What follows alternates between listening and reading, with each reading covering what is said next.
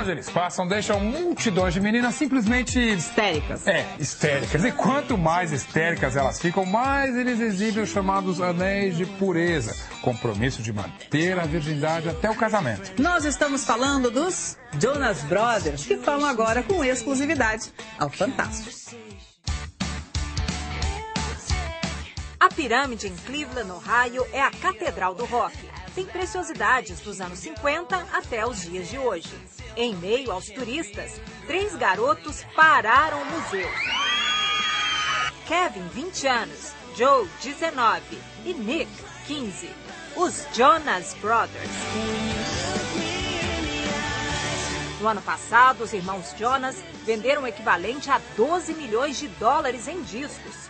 Tudo começou quando Nick, o mais novinho, tentou se lançar como cantor. Tinha apenas seis anos. O projeto não deu muito certo, mas uma gravadora acabou descobrindo que os três irmãos juntos poderiam ser irresistíveis. E que garota resiste ao charme de Joe, ao olhar tímido de Nick e à simpatia de Kevin? De tão famosos, eles foram doar roupas da banda para o Hall da Fama do Museu do Rock, como já fizeram Prince e Mick Jagger. Os Jonas Brothers estão em turnê pelos Estados Unidos para divulgar o terceiro álbum, A Little Bit Longer. No imenso gramado em Cleveland, as fãs esperaram um dia inteiro no sol quente de verão para ver os Jonas. Esse ônibus acompanha a caravana dos Jonas Brothers pelos Estados Unidos. Aqui as fãs deixam mensagens, os tradicionais recadinhos Eu te amo e também pedidos de casamento. Eu quero me casar com Joe, diz ofegante Jéssica, do alto dos seus sete anos. O som pop dos Jonas agrada em cheio o público adolescente, mas parte do sucesso pode ser atribuída à fórmula garotos lindos com bons valores da tradicional família americana. Eles condenam o uso de drogas e álcool, valorizam a família.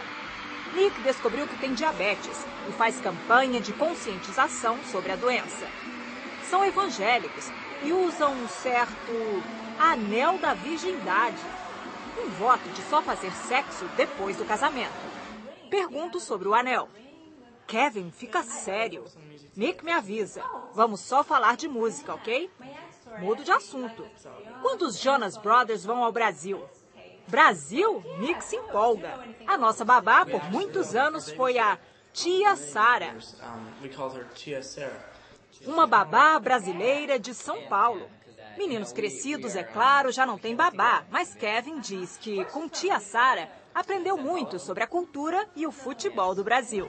Joe conta que eles torcem para encontrar as fãs brasileiras numa turnê no Brasil ano que vem.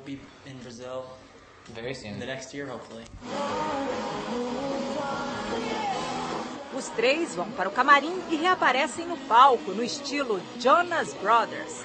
Terninhos bem cortados, acrobacias no palco, para delírio das fãs dos Jonas.